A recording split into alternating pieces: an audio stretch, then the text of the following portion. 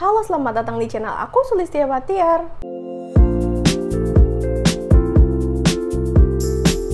Di video kali ini aku mau membattle dua sunscreennya Wardah untuk yang varian Airy dengan yang Acne Calm yang SPF-nya 35. Sebelumnya aku udah pernah full review ya untuk kedua sunscreen ini. Untuk kamu yang mau nonton full reviewnya, bisa cek di atas atau di kolom deskripsi. Karena di video ini aku cuma bakal membandingkan aja apa aja persamaan dan perbedaan dari sunscreen ini. Untuk kemasannya sama-sama tube, terus sama-sama matte. Untuk desainnya juga sama untuk isinya yang airy smooth ini dia tuh tersedia dalam dua ukuran ya tapi di sini aku punyanya yang 25 mili. Dan untuk yang acne calm ini yang SPF 35 per video ini tayang baru ada satu ukuran ya dan ini ukurannya adalah 35 mili. Kalau yang acne calm ini dia harganya sekitar kurang lebih 35 ribuan. Kalau yang Wardah yang airy smooth ini kayaknya sekitar 35 buat kamu yang mau cek produknya linknya ada di kolom deskripsi ya. Untuk angka proteksinya jadi untuk Wardah yang airy smooth Smooth ini dia mengandung SPF 50 PA++++, sedangkan untuk yang acne calming ini dia SPF-nya 35 PA+++. Jadi dari segi proteksi itu jauh lebih memproteksi yang Airy Smooth ini ya. Kedua produk ini punya highlight ingredients yang berbeda. Jadi kalau yang Airy Smooth ini dia mengandung Skin Boost DNA, Centella dan Bera Mineral. Sedangkan untuk yang Acne Calming yang SPF 35 ini, dia di sini mengandung salicylic acid, vitamin B3 dan panthenol. Dan untuk klaimnya, selain keduanya ini fungsi utamanya adalah untuk menjaga dan melindungi kulit dari paparan buruk sinar matahari, klaim tambahannya juga untuk yang Airy Smooth ini dia tuh klaimnya bisa sekalian untuk menjaga skin barrier, sedangkan yang Acne Calming ini bisa membantu untuk melawan bakteri penyebab jerawat dan juga bisa sekalian untuk merawat jerawat. Untuk yang Airy Smooth ini dia tuh masih mengandung parfum, sedangkan untuk yang Acne Calming ini dia tidak mengandung parfum. Untuk teksturnya kalau yang Acne ini dia tuh warnanya putih, sedangkan untuk yang Airy Smooth ini dia warnanya toska kayak hijau kekuningan sedikit.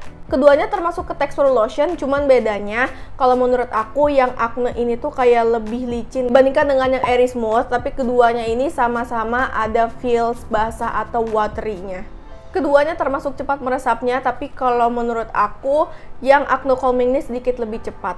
Keduanya nggak lengket, nggak white cast, dan dua-duanya juga nggak perih di mata aku. Tapi di beberapa orang untuk yang smooth ini ada yang ngerasa perih di bagian mata, tapi kalau di mata aku tuh nggak perih dan aman.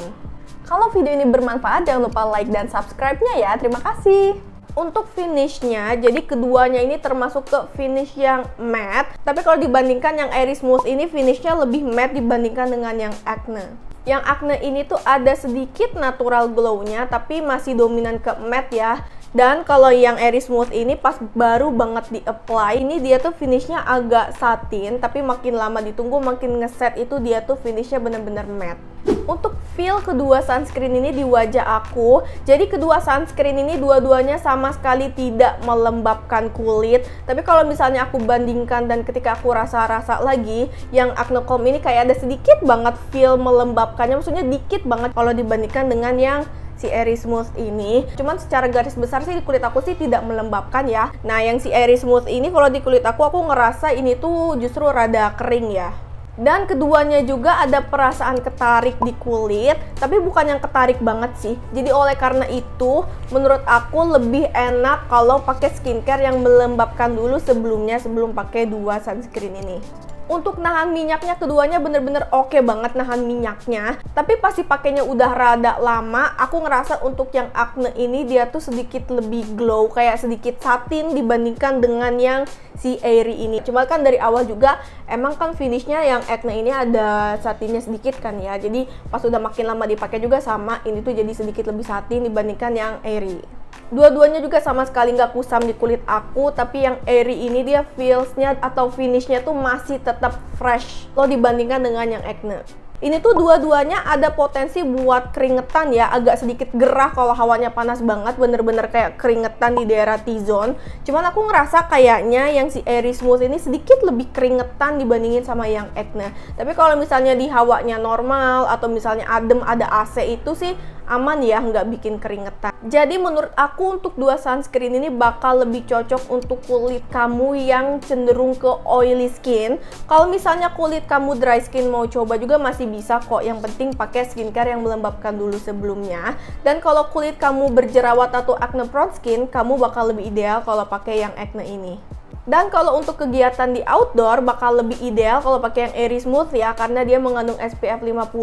Kalau kamu mau pakai di outdoor untuk yang SPF 35 ini pastiin sering reapply aja dan jangan terlalu lama kena sinar matahari. Dan walaupun yang Airy ini dia tuh SPF-nya 50 dan bisa dipakai outdoor tapi tetap aja ya sebaiknya tetap dihindari untuk paparan sinar matahari langsung. Pokoknya jangan terlalu lama kena mataharinya. Oh iya, keduanya juga ini gampang ya dibilas dengan air, jadi dia tuh dua-duanya sama sekali nggak water resistant dan juga wudhu friendly. Itu dia review dan pengalaman aku pakai kedua sunscreennya Wardah ini. Kalau kamu udah pernah nyobain salah satunya atau keduanya, kamu juga boleh sharing di kolom komentar ya kalau di kamu pengalamannya kayak gimana. Jadi segitu dulu video dari aku. Kalau video ini membantu dan bermanfaat buat kamu, jangan lupa like dan subscribe-nya ya. Terima kasih banyak untuk supportnya. Sampai jumpa di video aku selanjutnya. See you!